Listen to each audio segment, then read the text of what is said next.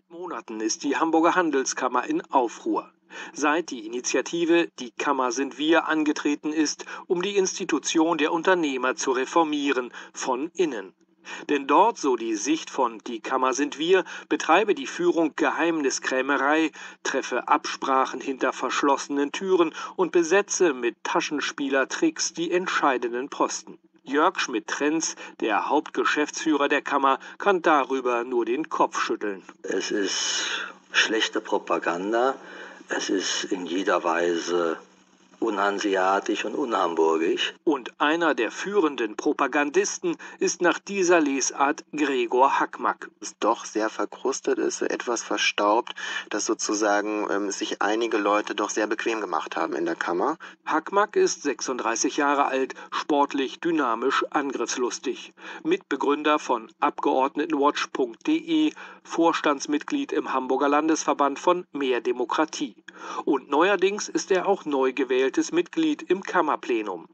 Als Mitglied der Gruppe Die Kammer sind wir.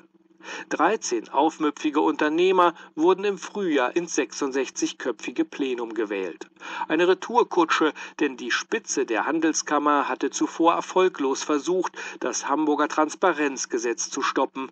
Das garantiert allen Bürgerinnen und Bürgern Einblick in das Verwaltungshandeln der Stadt.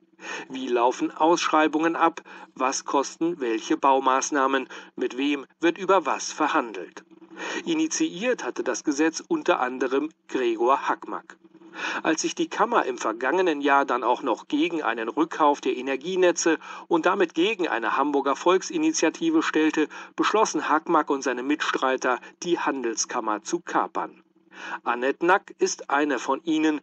Die junge Unternehmerin plant das Interieur von kleinen und Großraumbüros, sitzt in Jeans und Polohemd am runden Konferenztisch ihrer Firma, erzählt von ihrer ersten Sitzung im altehrwürdigen Handelskammerplenum. Was für mich interessant war, war zu sehen, dass ich schon in meiner ersten Sitzung über ein Thema abstimmen sollte, über das ich noch gar nicht informiert war. Dabei ging es um ein wichtiges, ein kontroverses Thema, um die Olympiabewerbung Hamburgs für das Jahr 2022.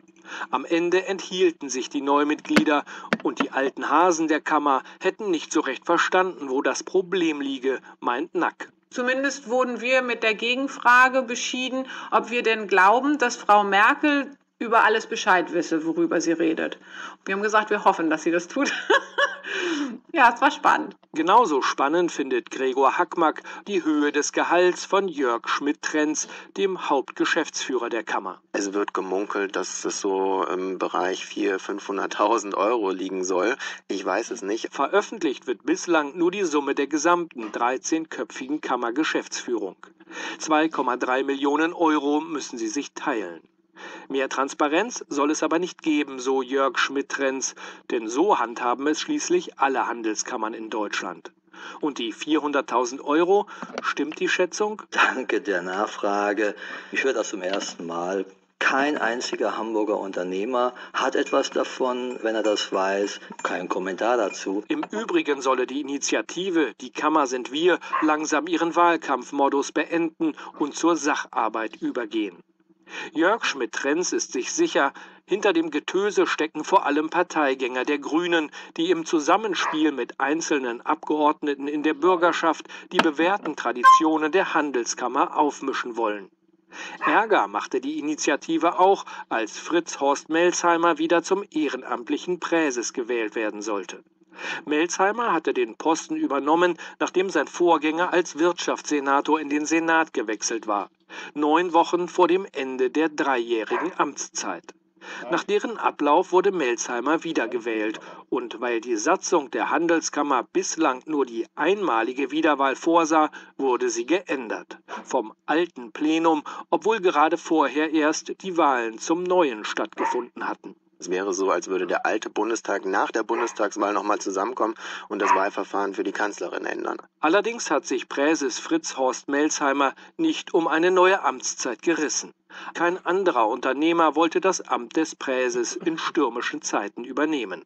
Hauptgeschäftsführer Jörg Schmidt-Trenz gibt sich gelassen, hofft darauf, dass das aus seiner Sicht vor allem grüne Sperrfeuer nun langsam eingestellt wird. Und eine Kleinigkeit wünscht er sich noch. Die Tür, durch die er über einen Verbindungsgang von der Handelskammer ins Rathaus gelangt, Rücken an Rücken sind die beiden Gebäude errichtet, führt ausgerechnet auf den Fraktionsflur der Grünen. Darin sehe ich gar kein Problem. Ein Problem ist allenfalls, dass die Grünen ihre Mülltonnen vor dieser Tür aufgestellt haben.